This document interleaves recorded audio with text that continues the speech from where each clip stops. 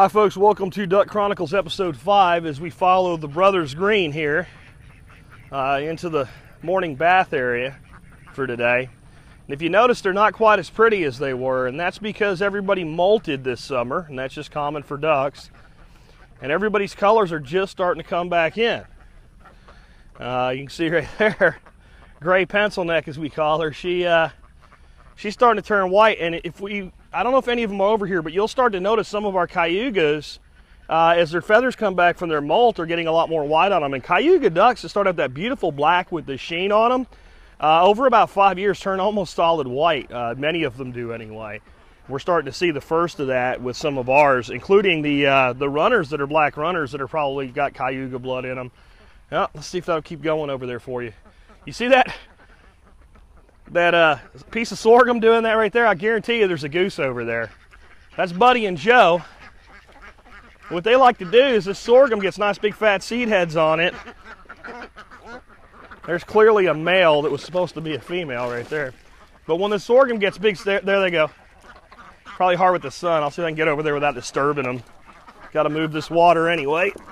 So it is bath time. There's Joe. He's right through there. And what they're doing is they're trying to bulldoze down that sorghum stalk because they know full well what's on top of it. So we'll give them a helping hand here. Buddy!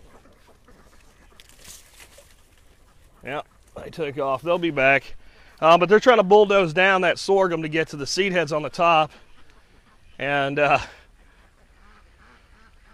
not having a lot of luck today because that's a pretty thick stalk right there. But every once in a while I feel bad for them and I'll go ahead and cut a stalk off. And what I'll do actually is I learned, you can see this is right here where it's happened a couple of years ago, that if you cut the sorghum stalks off low, they kind of coppice back out and put a second set of seed heads on them.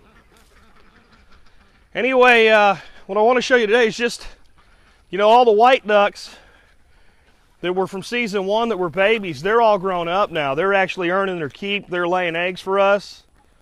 Um, we're getting around five dozen eggs a day close to right now. And uh, I think a lot of the girls that went in through a molt are just starting to really come back and produce. So if it wasn't for these guys, we'd have had a hard time making it. We got a lot of new customers and uh, they helped us get through that kind of lean time when everybody else went and uh, molted.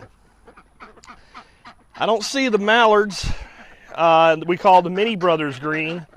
They're not over here right now. We named the girl Minnie Brown. Little Brown. There's Little Brown right there. Little Brown and the Mini Brother green. So those are mallards. Those are the ones that you saw last year fly. There's the other mallard. And you see, they're just coming into full color too, but they actually look a little better than the Brothers green because they didn't molt because they're babies this year. Uh, the food forest has had ups and downs this year. As you can see, it's, it's really quite impressive, the stuff that has made it. We had a tough summer.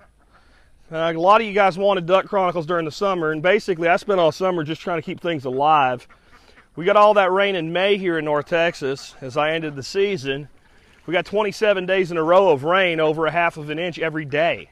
We turned the whole place into a swamp. And people said, well, you got all the water you need, your rain problems are over. No. What, uh, what happened next was through the summer, we got about three rain events for, for almost four months. Now, we've had, yeah, three real rain events in four months. And these, when I say events, I mean quarter inch, half inch type rain. We haven't had an inch of rain in a single event this summer. And we've gone 40 days straight without any rain. Uh, right now, everything is bone dry we got a little bit of rain. I think it was like a tenth of an inch last week. And when the ground's this dry, it just doesn't last. Let's move over here. Anyway, guys, we've got a workshop coming up, and I want to take you elsewhere now and show you what we're going to be doing. When we moved on this property, I got really excited and I went into doing large scale production like these swales. There's one of the little locusts we planted this year, just real quick before we move on. So this, this tree was a seedling about that high when we put it in the ground, and there's gonna be a lot more of these going in. You see the leaf structure on them, they're just great for dappled shade. We're gonna try to get shade on the back side of all these swales this, this fall planted so in the spring it's there and uh, help keep them from drying out as quick as they do and stop some erosion problems. Got a gate here. Ducks are on the front pasture right now. And uh, the truth is, we should have put a lot more effort into this little area right here when we first moved in, but you get excited, you want to do big things. There's that little uh, dwarf mulberry. You can see how dwarf it is now. But we should have sheet mulched everything in here. We should have focused on the garden, and the garden's doing okay. Um, but we should have sheet mulched from here to here, and we should have focused on this, you know, and maybe a garden there, and maybe that little orchard there for the first year. And uh, got those things absolutely locked down tight. But, you know, I want to experiment. So I went, you know, broad scale fast, and that's cost us losses. You can see we uh, have given up on cherry trees. That one's actually resurrecting. That one's dead. We killed a lot of cherry trees here. The ones that made it, made it. These trees through here are all doing really good. Um, little sorghum right there. I wanted to show you this for those of you planting goji berries so you don't freak out when it happens to you. See that? The berries? Well, these fruited this spring and then they look like they just died on me.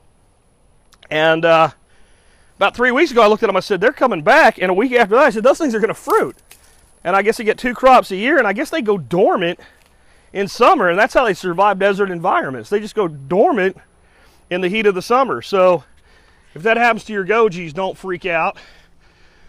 Show you this little project here, and we'll take a look at the quail and ducks and wrap up for the day. This is going to be the type of thing I'm talking about. This is what we should have started with. Highly intensive uh, systems. This is going to be one of the projects we're completing for the uh, workshop next week with our students. These are going to be uh, wicking beds. They're going to be filled with seven inches of gravel, which is right where that pipe goes across. And then it'll be good quality uh, potting soil all the way to the top. And uh, that little area right there will be very, very highly productive. It's going to back, be back here where it gets a little bit of shade and plenty of sun at the same time. And those uh, 2x4s, this is all going to be faced with concrete facing board and painted to look really nice. But the purpose is when that sun comes up, from right there in the sky all the way to there, all this beautiful shade goes away and this thing gets hit hard. And it, you know, it needs some sun, so that's good, but that heats up that soil. So by putting that facing board in there, we will always have shade on the soil, 100% of the time. Uh, and another thing that's going on, my handyman's coming today to do this work for me. See that lattice? There's three eight foot pieces of lattice, and they are going to go up on that wall. So we'll have uh, one planting surface this way and then verticals going up on the back side. So it'll be a very, very intensive, very productive system.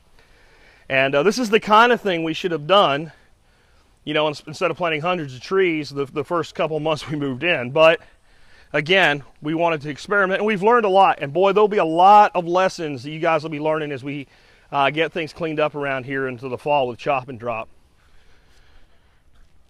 little orchard down there.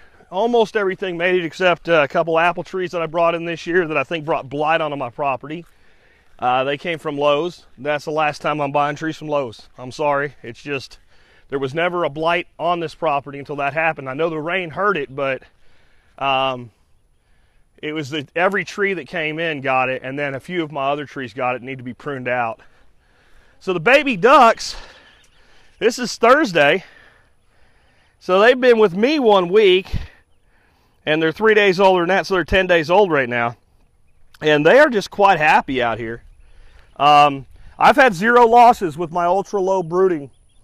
Nobody's uh, nobody's gone down since they've come out here. Um, I do have to fill these water things for them several times a day.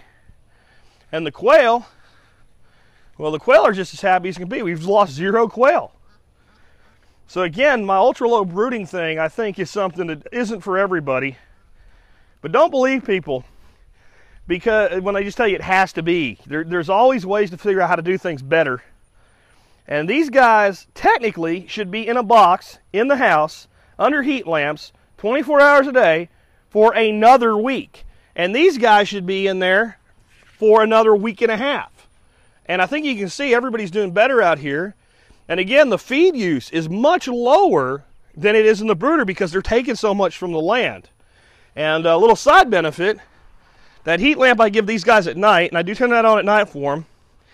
I take that tarp and I cover half of the uh, the thing for them, and bugs just swarm in there. And I come out here at night and they're just gorging themselves on bugs. So everybody's looking good and moving. It's been no problem.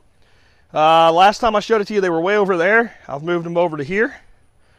And that hardware cloth on the bottom, they do eat right through the bottom. So everything's looking good, guys. Um, I'm excited to be back in the fall. Let's go say hi to the Muscovies since you haven't seen them since last season either. They tend to spend more time over here than out and about. They like to kind of stay home. They're a little angry right now because they really like to sleep under there. And since they're on the front pasture, they can't get there. But you can see we've had a lot of young Muscovies. These are all new birds right here. Uh, that one right there, that one right there, that one right there, young birds. Uh, no, no, some more Muscovies, brand new Muscovies. And uh, they're pretty happy. Rosa Ragoose is coming in. We'll catch up with you in the next episode. Oh, wait, real quick. There we go. This is what I was talking about. These cayugas, as black as they are, that girl right there was black as midnight in her first year and a half. And you can see that salt and pepper coming in on her. Old age at two just doesn't seem right, does it, girl? But uh, it's just a metamorphosis they go through. Catch up with you later.